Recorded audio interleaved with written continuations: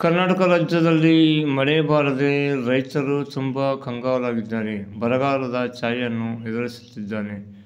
ಆದರೆ ಈ ಕಾಂಗ್ರೆಸ್ ಸರ್ಕಾರ ಅಧಿಕಾರಕ್ಕೆ ಬಂದು ಕರ್ನಾಟಕದ ರೈತರಿಗೆ ಯಾವುದೇ ಪರಿಹಾರ ಘೋಷಣೆ ಮಾಡಿಲ್ಲ. ಇದರಿಂದಾಗಿ ರೈತ ತುಂಬ ನೊಂದಿದ್ದಾನೆ ಸರ್ಕಾರ ಕೂಡಲೇ ಎಚ್ಚೆತ್ತು ರೈತನಿಗೆ ಉತ್ತಮ ಪರಿಹಾರ ಘೋಷಣೆ ಮಾಡಬೇಕಾಗಿ ತಮ್ಮಲ್ಲಿ ವಿನಂತಿಸಿಕೊಳ್ಳುತ್ತೇವೆ.